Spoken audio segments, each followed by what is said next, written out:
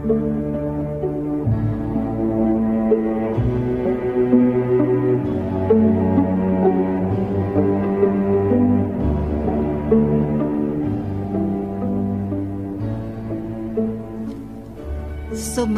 Maugham Theo bạn, kịch nào có giá trị nhất từ trước?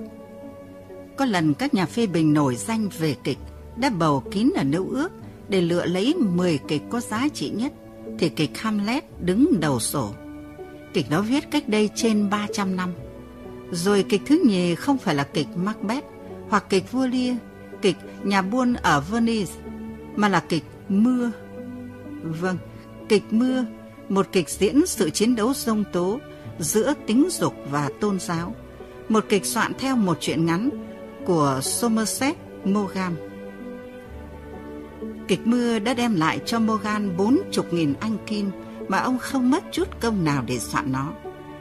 Việc xảy ra như vậy, ông viết một chuyện ngắn, nhan đề là Sadie Thompson. Viết xong ông chẳng nhớ gì tới nó nữa. Nhưng một đêm John Colton lại chơi nhà ông và Colton muốn có cái gì đọc để vỗ giấc ngủ. Morgan bèn đưa cho Colton ấn cào chuyện đó. Colton say mê đọc, kích thích lạ lùng. Ông nhảy xuống sàn đi đi lại lại, tưởng tượng ra như thấy chuyện đã diễn thành kịch, một kịch sau này sẽ bất hủ. Sáng hôm sau, ông chạy tìm Somerset Maugham bảo Chuyện này viết thành một kịch hay được. Tôi đã nghĩ về nó suốt đêm hôm qua. Báo đời. Biểu cho người ta đọc cái gì để dễ ngủ mà làm cho người ta không chợp mắt lấy được một phút. Nhưng Mogam vẫn thản nhiên đáp. Viết thành kịch ư. Một kịch bệnh hoạn thì được. Rồi đem diễn được trong sáu tuần lễ. Không đáng để ý tới. Thôi đi. Và chính kịch mà ông không thèm để ý tới đó đã đem lại cho ông bốn chục nghìn anh kim. Kịch viết xong, nhiều gánh hát từ chối. Họ tin chắc rằng sẽ thất bại. Chỉ có Sam Harris chịu nhận. Ông sở dĩ nhận là có ý cho một đào trẻ tên là James Angel đóng. Nhưng người quản lý gánh hát không chịu, muốn lựa một cô đào có danh hơn. Rốt cuộc Jean Anken cũng được đóng và nàng thành công.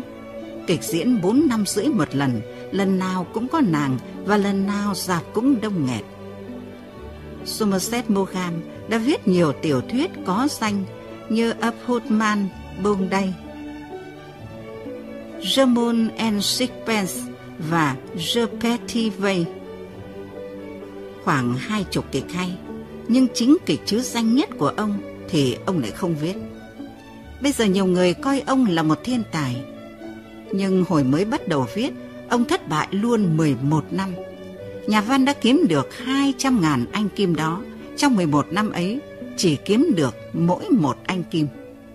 Nhiều lúc đói, ông muốn xin một chân trong tòa soạn một nhà báo nào đó để có một số tiền nhất định mỗi tháng, nhưng không ai nhận ông cả. Ông bảo, kiếm không được việc, tôi đành phải tiếp tục viết như vậy. Lúc đó ông đã đậu bằng cấp y khoa bác sĩ. Họ thôi thúc ông bỏ chuyện ngắn, chuyện dài đi mà làm thuốc ra toa cho tấm thân đỡ cơ cực. Nhưng không có gì làm ông thay đổi quyết định sắt đá của ông là lưu danh lại trên những trang văn học sử Anh. Bob Ripley nổi danh về cuốn Billy F. E. Ognot có lần bảo tôi một người có thể làm việc như mọi không ai biết đến trong 10 năm rồi nổi danh trong 10 phút. Lời đúng với Ripley và cả với Morgan. Lần đầu tiên Somerset Maugham được nổi danh là do một ngẫu nhiên. Một kịch nào đó thất bại và ông bầu một gánh hát kiếm một kịch bản khác để thay.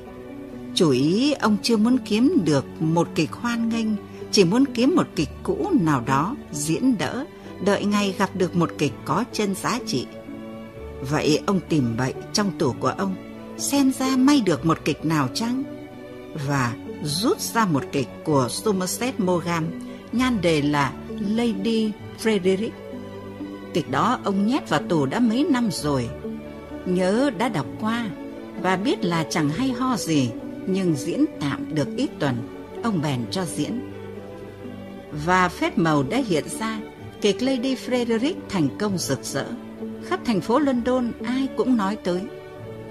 Từ hồi Oscar Wilde tới nay, chưa có kịch gia nào làm cho người Anh vui thích như vậy.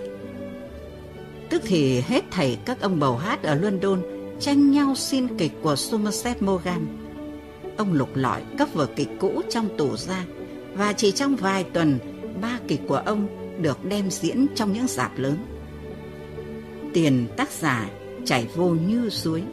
Các nhà xuất bản lăn xả vô xin ký giao kèo với vị thiên tài mới xuất hiện đó. Giấy mời của các hội bay tới như mưa. Và sau 10 năm sống trong bóng tối, Somerset Maugham bỗng được hoan nghênh trong các phòng khách sang trọng nhất. Ông nói với tôi rằng không khi nào ông làm việc quá một giờ trưa, vì buổi chiều óc ông như đặc lại.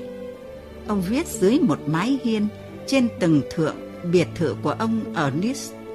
Luôn luôn ông hút ống điếu và đọc sách triết lý khoảng một giờ rồi mới bắt đầu viết. Khi quân Đức chiếm nước Pháp, ông qua Nam Carolina viết trong một đồn điền. Các bạn vừa nghe xong câu chuyện về Somerset Maugham trong cuốn 40 gương thành công tại trang www.gươngdanhnhan.vn. Mời bạn chọn nghe câu chuyện tiếp theo. Xin cảm ơn.